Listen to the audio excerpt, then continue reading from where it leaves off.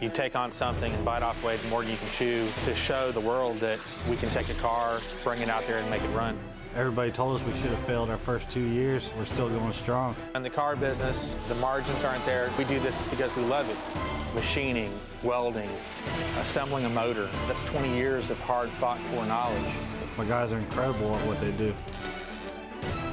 That's kind of what gives us our edge over our competition.